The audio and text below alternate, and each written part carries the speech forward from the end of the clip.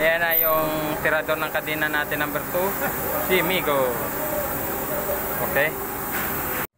Buhay Marino, Katropang X Pamilya at Trabaho, Katropang X Isubscribe na, Katropang X TV Well, well, well, well, well, and welcome to my vlog! So as you can see, nasa prowa tayo. So for today's vlog mga katropa, dahil ah, nakita nyo na sa mga nauna kong ah, vlog na na kamada na or nakuha na yung ah, kadena. So after ng ah, maintenance nito, katok, tsaka pintura, so ngayon, papakita ko sa vlog na ito yung ibabalik na siya namin sa chain locker. So, watch out lang mga katropa at sana mag-enjoy kayo sa vlog kong to. Buhay Marino, Katropang X Pamilya at Trabaho, Katropang X Isubscribe na, Katropang X TV Pero bago ang lahat, kung bago ka pa sa channel ko, don't forget to subscribe at hit na rin yung bell button para maging updated kayo sa ipa ba naming video na i-upload. So kung may content kayo na gustong ipagawa sa atin, comment down below lang at don't forget to share and like this video. So, pa-shoutout na rin sa lahat ng katropa na patuloy na pagtangkilik sa ating uh, vlog at sa mga small YouTuber na katulong ko para umangat yung mga bahay natin at uh, ma-monetize tayo hopefully ni Lolo YouTube. Again, this is Men's Blanco. Enjoy watching!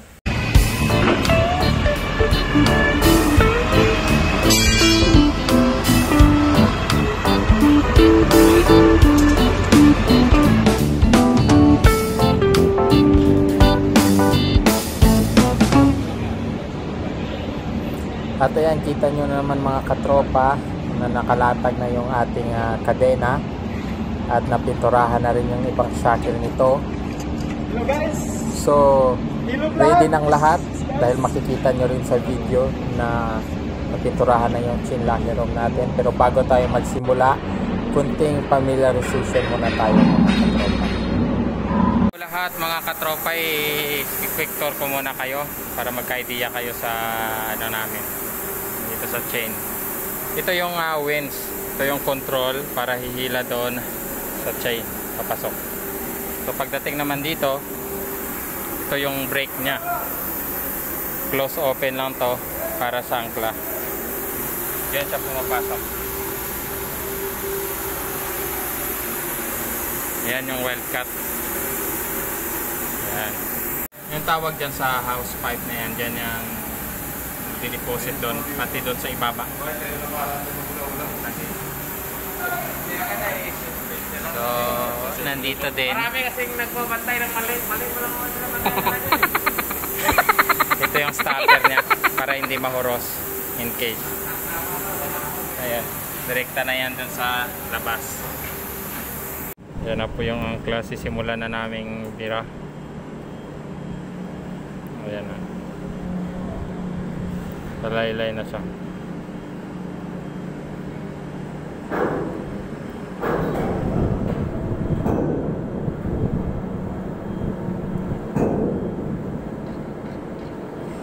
Unti-unti na per shackle.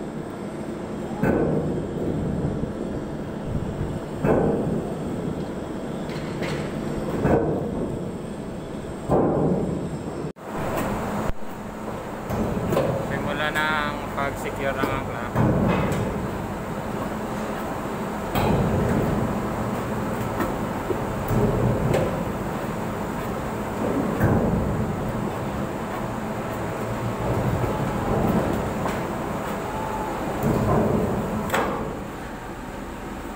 Muna namin na ininto yung pagbirada kasi lalagyan namin ng markings every shackle. Katulad niyan, yan yung shackle niya, palatandaan, naka-signal red. Tapos kung ilan na siya, bawa, 1, 2, 3, 4, 5, 6. Ito din palatandaan niya, kinukulayan namin ng puti. Parang 6 shackle. So tuloy-tuloy na yan hanggang sa ano, 1 shackle. Yan yung mga tropa natin. Pinakamada nila para maganda yung pagkalatag sa loob. Una lang naman yan.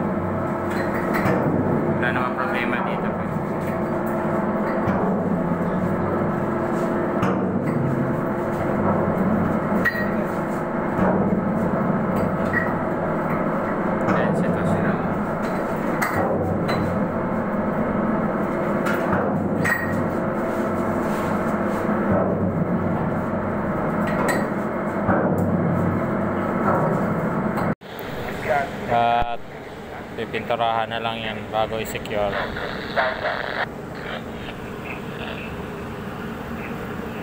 A few moments later. So, natapos na natin mga katropa kaya yan, pakyat na yung ating mga tirador ng kadena. So, kyat na, kyat. Ayan, mag showdown, showdown pa. Ayaw mo lang magsiwan. So, anong pakiramdam sa loob ng uh, chinlocker mo? Masakit kasi naipit. Pero lang. Pero mas mas masakit yung iwanan. Ah, yun. Hindi ko kaya. Ayan na yung tirador ng natin number 2. Si Migo. Okay. A few moments later. Alright. Sa securing position, yan na po yung magiging itsura ng ating angkla. Meaning yan, anchor home na, mga katrop. Alright, at hanggang dyan na muna yung vlog natin for today. Naway ay may napulot kayong ah, idea o nadagdag sa inyong kaalaman. At kung inyong nagustuhan, paki-likes na lang at ah, share nitong video. At salamat sa lahat ng nasubscribe na at sa patuloy na nanonood ng video namin at sumusuporta. Again, this is Mens Blanco ng Katropang XTV live at Yaluba, Turkey. Signing off! Buhay Marino, Katropang X, Pamilya at Trabaho, Katropang X, Isang na, Katropang